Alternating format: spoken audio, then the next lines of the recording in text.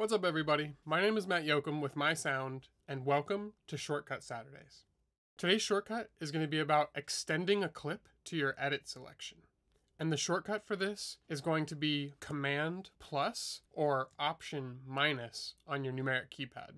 Let's see how this works. Okay, so I use this all the time. Basically, the way it works, we're going to make an edit selection, and then if you hold Command and hit the numeric plus sign, it will extend your clip to the selection. So what you have to do for this to work, your selection has to overlap a part of the clip and then extend as far as you want it to go.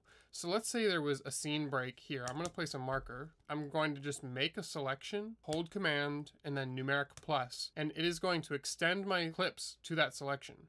Now, something to be aware of, it will actually extend one frame further than the selection that I make. And why is that? That's because when you use Command plus, it extends your clip by a frame. So it's going to extend the clip to your selection plus one frame.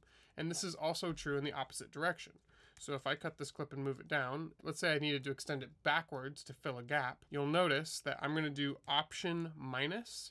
It's going to extend it backwards plus one frame. See that? Now be sure to add it to your muscle memory.